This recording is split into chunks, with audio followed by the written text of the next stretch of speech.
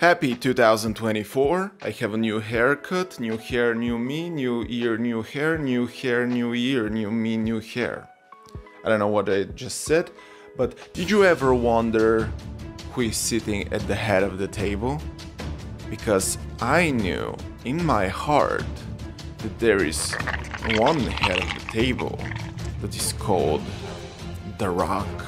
And last night we saw that The Rock is coming back and I was expecting The Rock to do what Rock always does.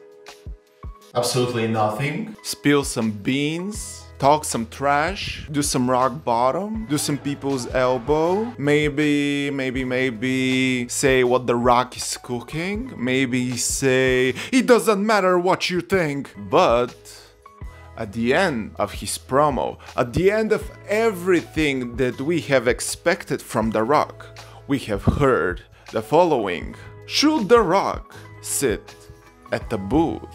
Should The Rock sit at the bar? Or should The Rock sit at the head of the table? And everyone lost it. Everyone lost it because everyone wanted this for years. Everyone wanted this for years. But why are we are not excited now? Actually, I'm I I cannot tell if everyone is not excited as I am. But to be fair with you, I'm not super excited about this.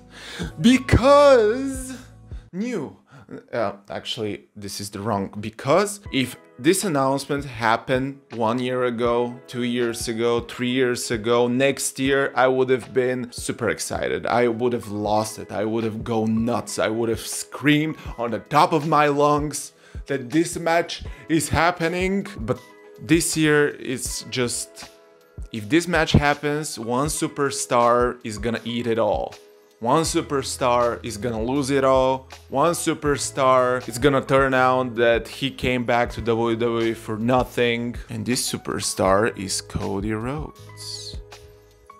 Maybe this star is Randy Orton. Maybe this star is AJ Styles, CM Punk. CM Punk is gonna have a feud with Seth. I'm, I'm not even gonna bother with him, but I'm not excited because Cody needs to finish the story, right? But obviously he's not gonna finish the story if The Rock is having that WrestleMania moment with Roman. So what are we gonna do now? Are we gonna pull the trigger on Rock versus Roman? And we are gonna pull another year of Roman retaining the title? Or we're gonna finish the story?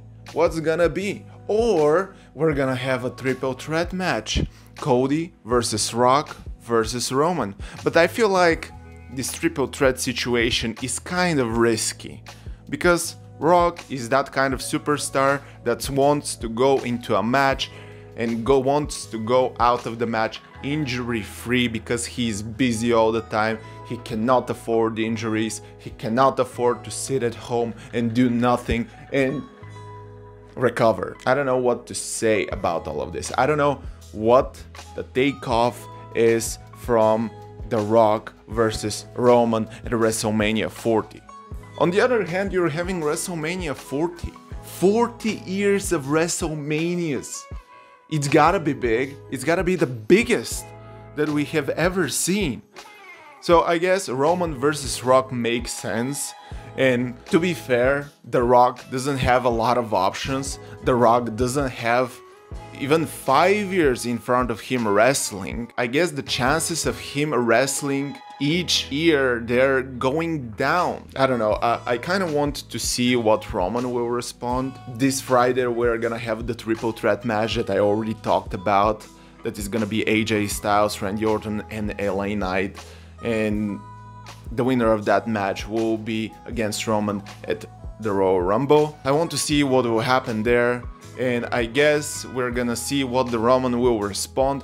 We'll also see if The Rock will show up next week or the week after that or the weeks coming to WrestleMania to confirm that this match is happening. Who knows? everyone. Who knows? I, I just feel bad about Cody Rhodes. I'm not gonna lie to you. I, I feel bad about Cody Rhodes because came back almost two years ago to finish the story. Last year he couldn't finish the story and I was fine with that. I was fine with that. Everyone was devastated. Everyone was like, oh my god, WWE fumbled it and all of that stuff. But I like that Roman retained.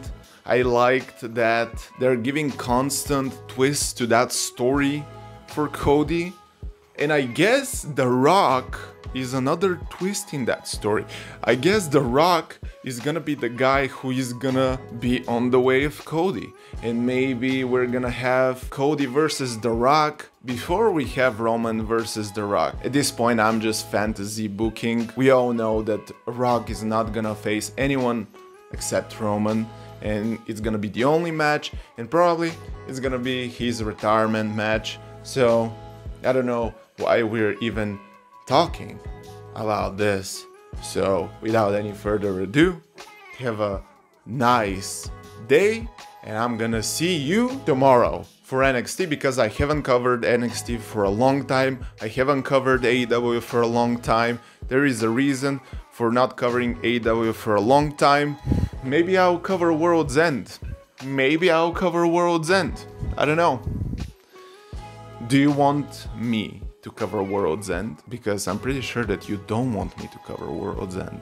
AW, Tony Khan, get your shit together. Peace.